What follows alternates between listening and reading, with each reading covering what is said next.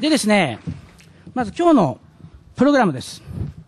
えー、まずですね、1番、雲とは何か、雲の素晴らしさ。2番、先行スパン2がまっすぐの時しか売買しない。えー、3番、値動きの仕組みとに書いてありますけども、まず1番、2番は雲の話ですね。で、この3番、4番、5番、これはですね、あの、相場のその考え方と、具体的なその注文の出し方、これ一番大事ですね。やり方ですね。それの話になります。で、7番、えー、6番、7番、これは、経線に時間というですね、概念を入れております。で、8番、9番、雲と MA で相場の強弱を見る。えー、利益確定ポイント。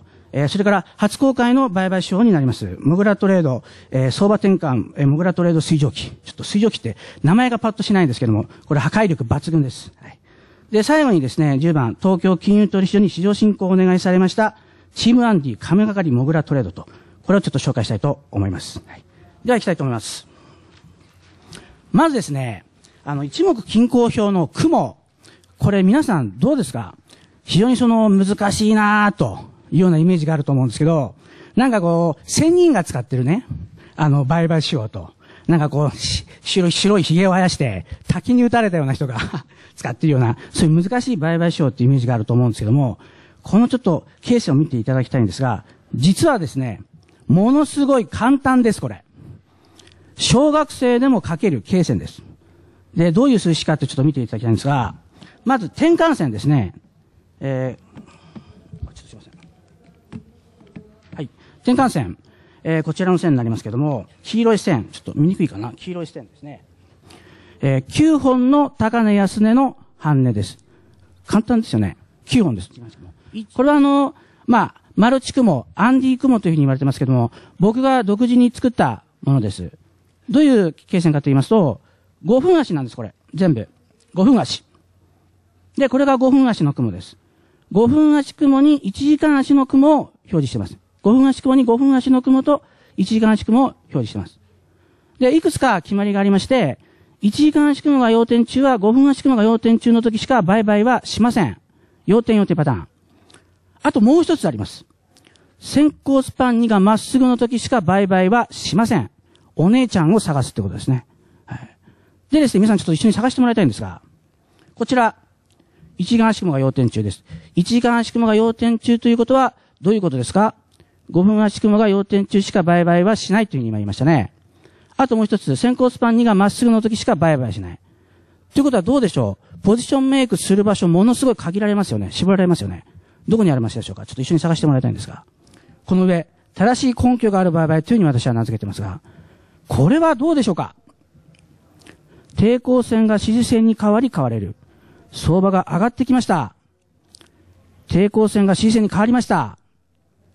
で、支持線で変われる。抵抗線が支持線に変わり、支持線で変われたら買い相場になるっていう定義があるんですよ、これ。これですね。で、僕はその、なら、なら買いの定義は何だっていうふうに言われたら、この抵抗線ですね。抵抗線が支持線に変わり、支持線でここで下髭が出たら、下髭と大陽線ができたら、買いというふうに僕定義づけてます。なので、ここで下髭が出たら、僕は迷わず買っていきます。はい。これを僕は買い相場の定義というふうに言ってます。で、まあ僕はいろいろとあの、まあ雑誌とか取材とか受けるんですけど、で、よく取材中にですね、アンディさんはその、売買賞いくつ持ってんですかと、すごいありますよねっていろいろ言われるわけです。まあ、いろいろありますね。アンディ、クマンド、ダブルボリバン、FX、鉄板パターン集。鉄板パターン集は鉄板パターン集1、2、3、4はないんですよ。で、5。あと、モグラトレード、東京時間足、ロンドン時間足、ニューヨーク時間足、たくさんある。僕の売買手法は一つしかないんですよ。ポジションの取り方も一つしかないです。全部これです。これ。これだけ。8番。雲と MA で相場の強弱を見るということですね。えっ、ー、こちらと見ていただきたいんですが、えっ、ー、と、雲のですね、売買にはですね、MA52 が必要不可欠です。MA52 じゃなきゃダメです、これは。MA52 使ってください。なぜかというというとですね、先行スパン2というのは、52本の高値安値の半値でできてます。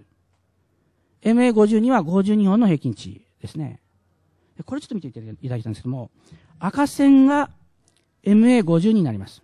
赤線50、MA52。見えますね。MA52。はい。で、この白いカクカクがですね、先行スパン2です。相場が上昇初期での段階で、勢いよく上昇中は、平均値より高値安値の半値が上に来ますよね。平均値より。で、次です。相場が押してきます。押し目を作ります。そうすると再度これ、平均値の下にですね、高値安値の半値が来るんですよ。ここにちょっと注目してもらいたいんですね。ここに。この状態っていうのは、相場が上昇式の段階で買われる余地があるときってことですね。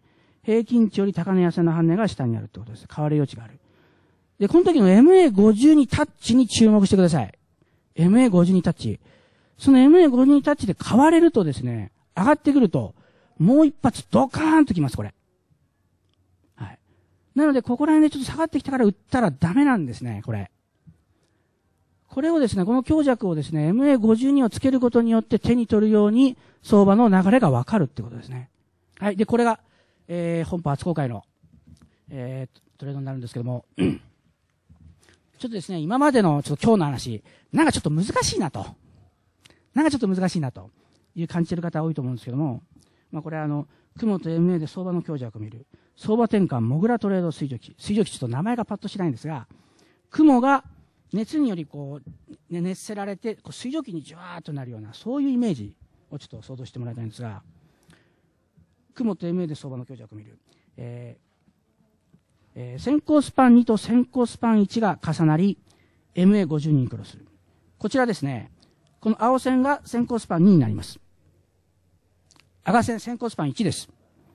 これがこう1本に重なり MA52 にクロスすると、相場転換になる確率が非常に高いですね。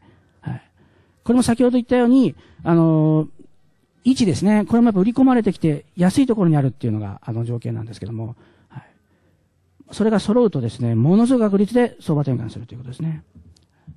で、これはこちらのインジケーターを見ればですね、これ下ご覧になっていただければわかりますけど、ここ見ればすぐわかるんですね。一本これ、同時にこう、スッと上に抜けたところを見ればいいってことですね。で、売買は、正しい根拠がある売買しかやりませんと言いました。もう徹してます、これに。はい。売買は正しい根拠がある売買しかない。先行スパンニンがまっすぐのとこしか売買しないと思いました。もうここですね、このタッチ。抜けてきて、最初の押しですよね。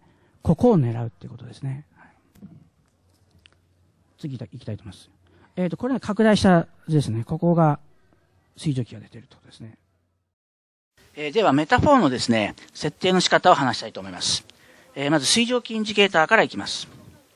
水蒸気インジ。えー、この EX4 というのがですね、メタフォーのインジケーターになります。で、TPL というのがテンプレートですね。これをあのメタフォーの中に入れます。まず、マイコンピューターをクリック。